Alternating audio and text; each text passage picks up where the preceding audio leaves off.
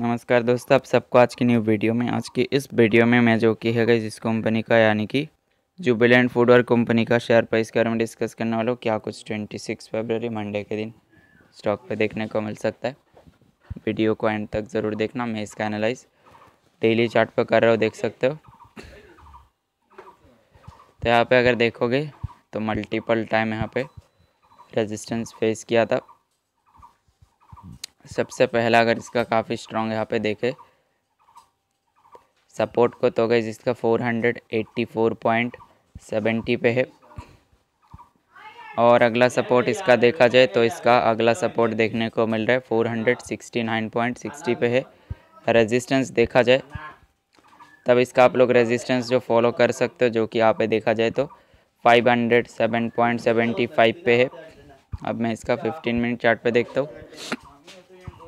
Fifteen minute का chart पे अगर आप देखोगे, खास कुछ पैटर्न नहीं बना है यहाँ से। काफ़ी गिरावट दिखा कुछ इस प्रकार से चला हुआ है।